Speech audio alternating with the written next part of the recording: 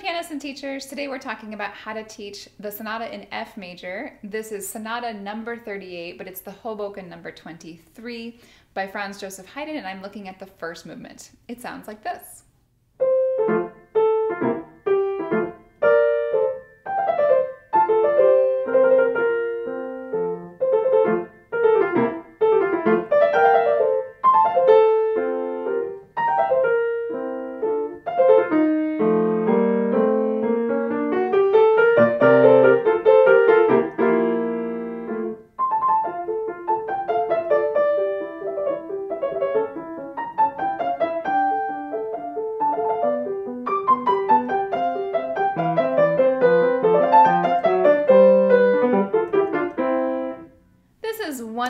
Favorite early advanced sonatas to teach. I know I'm putting this in my intermediate playlist, but I think you could stretch this to be very upper intermediate or consider it early advanced. And it's such a great example of a sonata movement that is so expertly crafted by the composer and is also a motivating and just great piece for early advanced students to play. Today we're going to talk all about scales and chords, articulation, ornamentation, and general character expressive choices for teaching your student this piece. First, if we haven't met before, my name is Janna Williamson, and welcome to my home piano studio in Chicago. I realize it's hard to get all the things in that I want to talk about with a more advanced piece in particular. And so, of course, I'm only going to touch on some basics here, as well as give you some very specific ideas for teaching.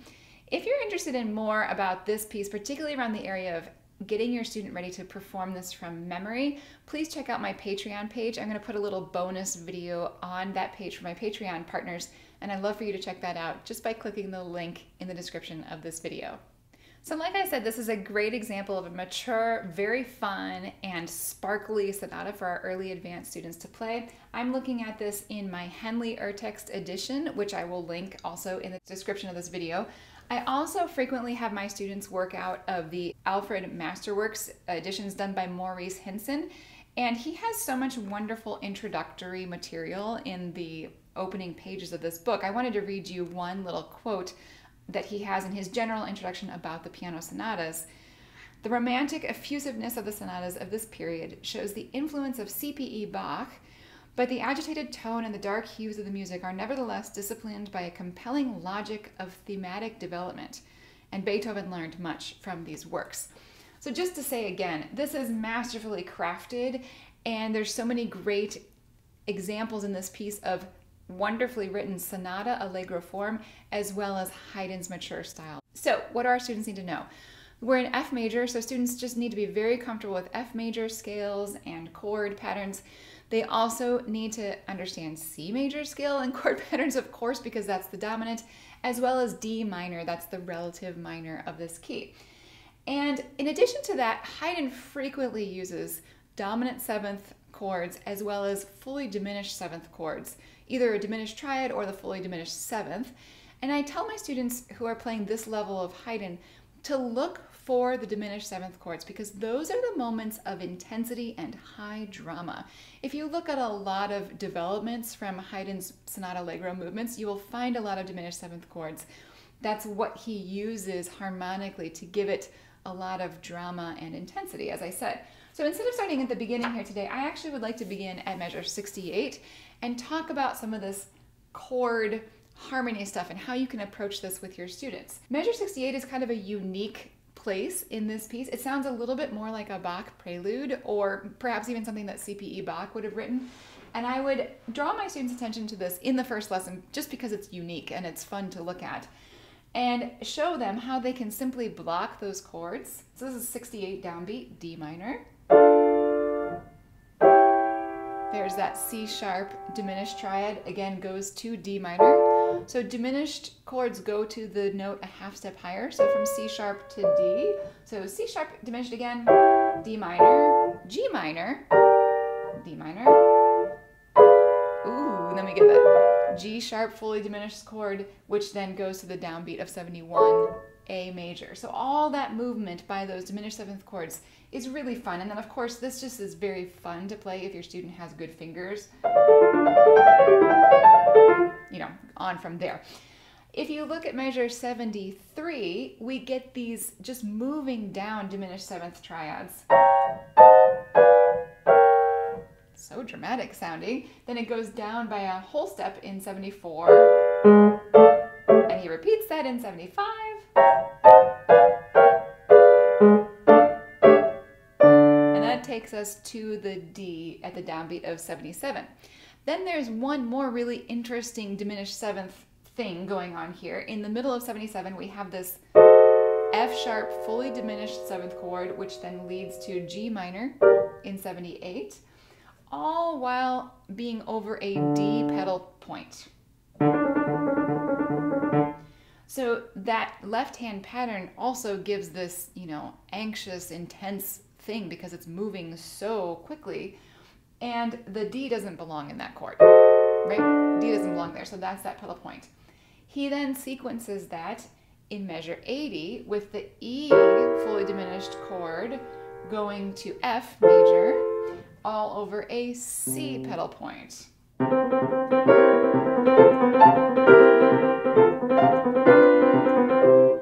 And that's such a fun moment that takes us from all that, you know, mystical chord progression we were doing at 68 lands us solidly at C, which then in 83 and 84, we just break up for a C7 chord.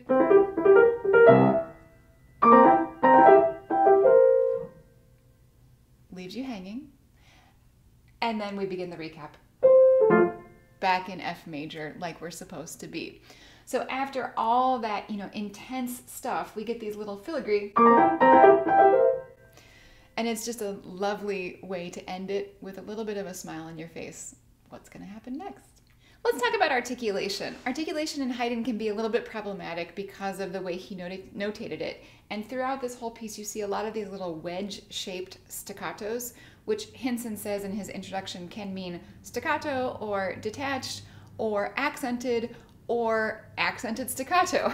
I believe in this particular movement that they generally just mean staccato, like, you know, shorter and generally light, not a heavy accent, because they're just so frequently throughout, it would be impossible to actually accent every single note that he wrote with that wedge. You find them at the very, very beginning and throughout. In this little transitional part at measure 13, I think it's great for students just just think a tall hand and that they're going right to the bottom of the key with a nice good bounce to get the right kind of sound there. At the beginning, I just think of it as on the beat, the measure one or staccatos. They're just giving that nice light-hearted character. That's followed by a two-note slur. And students usually do not give me enough of a two note slur gesture. I always encourage them to actually, literally with their wrist, go down and come up so that they can physically feel that gesture and the sound will follow. I think they're oftentimes, particularly in this piece, just thinking ahead to what's coming next and they're not actually listening to what they're doing in that moment.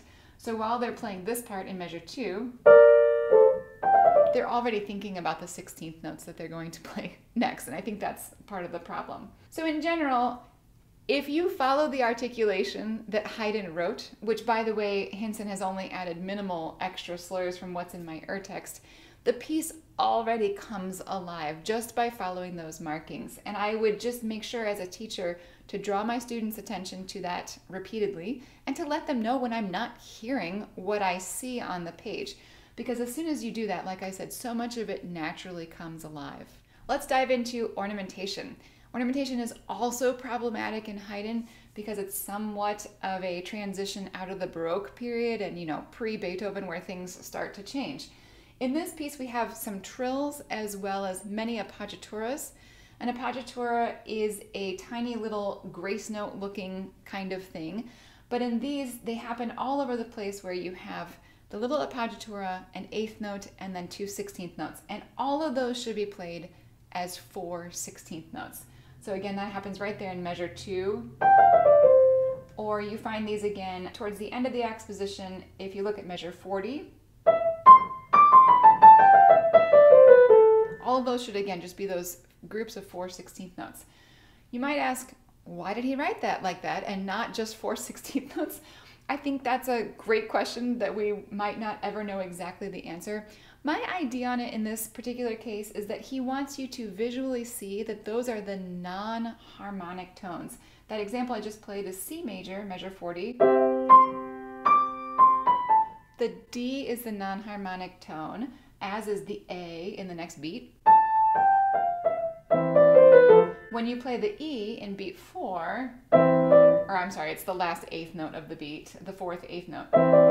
The E is a harmonic tone. So Haydn is visually highlighting, like I said, the non harmonic tones They get a little extra emphasis because they are those ornaments in that way.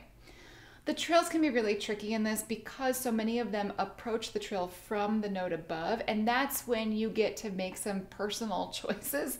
If you look at the one in measure three, I would have the student play that C appoggiatura and then just trill starting on the B flat. You could repeat the C.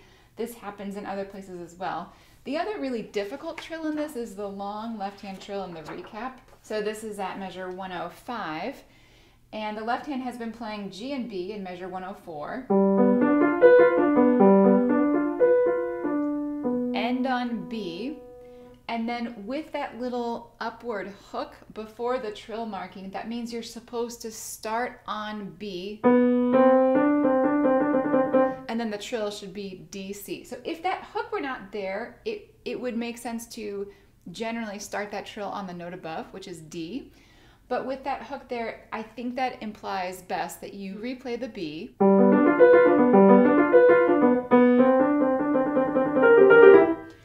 For students for whom that trill is difficult technically, I would just have them measure it out as 30 second notes, so just on each measure. By doing the hook on the B,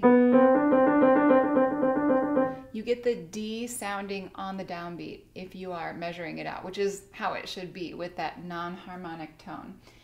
And then if they can measure it and get through the right hand through there, then of course you can talk about speeding up the trill and having it not metrically aligned.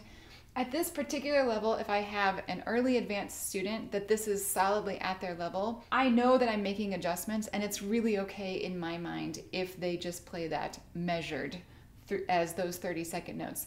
We might experiment as much as we can with taking it out of that. And if you listen to professional recordings, they do play that trill very, very quickly. But I think it really is okay at this level. You know, if you're talking a pre college student, a high school student, to have them play that measured so that it doesn't ruin the tempo or the right hand articulation or any of that, and they can just get through it. Students oftentimes spend so much mental energy focusing on the trill. I would want them to get past that and be listening to the right hand and just let the trill exist down there in their left hand. So lastly, in this short tutorial, I just want to talk briefly about dynamics, which unfortunately Haydn didn't really write a lot of, so you might want to look at an editorial edition to find out what some ideas would be. But again, I've already talked about how the music, the theory itself kind of tells us where the intense moments are. We have a few echoes here and there, um, but in general, thinking about the sequences, the echoes, and how he has written the accompaniment styles and all of that, you can start to have an idea of what the lighter places are and what the more intense places are. In general, because the 30 second notes move so quickly, you can't play this with a heavy hand. It has to be very, very light, but just the amount of notes will naturally give it more sound when you're going through those 30 second parts. I believe the opening should be generally pretty light, maybe a mezzo piano, mezzo forte. With that nice shaping in these, you know, phrases that we have here. We oftentimes encounter a lot of 2 plus 2 equals 4 phrases in things like Haydn, so look for those as well. Listening for balance.